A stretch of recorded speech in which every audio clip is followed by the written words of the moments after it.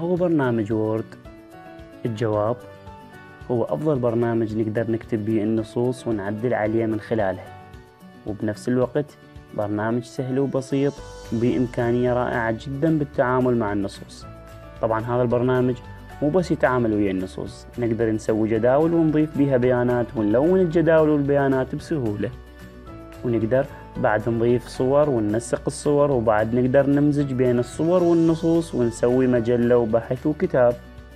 أكيد مو بس هاي الأشياء نقدر نسوي الهويات الخاصة بالطلاب والموظفين والشركات ونصمم إعلانات وبوسترات ونشرات وهواي أشياء نقدر نسويها بهذا البرنامج الرائع بكل سهولة ويسر.